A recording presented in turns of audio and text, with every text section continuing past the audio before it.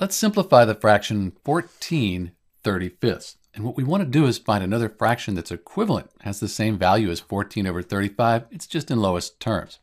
So if you know your multiplication tables, you probably recognize that 7 goes into 14 and 35. So if we divide 14 by 7, we get 2. If we divide 35 by 7, we get 5. So the fraction 14 35ths equals 2 fifths. These are equivalent, just this is in lowest terms.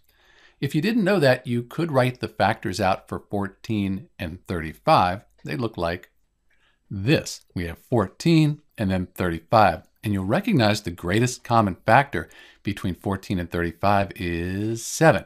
So we divide 14 by 7, we divide 35 by 7, and we get 2 fifths.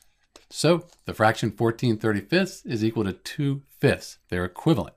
They have the same value, just that we've reduced 14 35ths down to 2 fifths in simplest terms.